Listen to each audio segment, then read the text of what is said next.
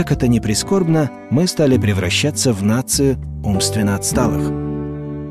Алкоголь, выпитый мужчиной в течение трех месяцев до зачатия, пагубно сказывается на физическом и особенно психическом здоровье его потомства. Но если мужчина прекратил употреблять алкоголь, то по прошествии трех месяцев происходит полное обновление сперматозоидов.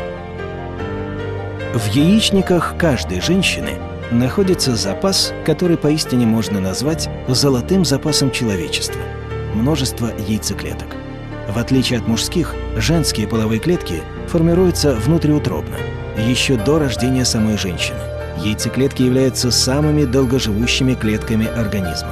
Оболочка яичников надежно защищает эти клетки от воздействия практически любых вредных факторов, кроме этилового спирта. Этиловый спирт, будучи отличным растворителем, проникает внутрь яичника и поражает часть клеток, из которых могут быть зачаты дети. И с каждым бокалом алкоголя процент пораженных клеток возрастает. И может получиться так, что через несколько лет оплодотворится именно та клетка, которая была отравлена тем самым бокалом шампанского на Новый год. Этот бокал может дать начало больному ребенку с серьезными умственными или физическими отклонениями.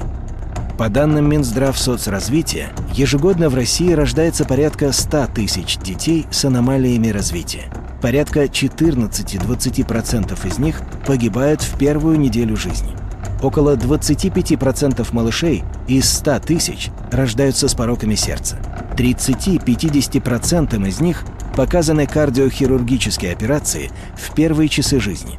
Примерно 200 тысяч беременностей заканчиваются выкидышами. Вероятность рождения больного ребенка прямо пропорциональна тому, сколько женщина выпила с первой рюмки и до момента зачатия.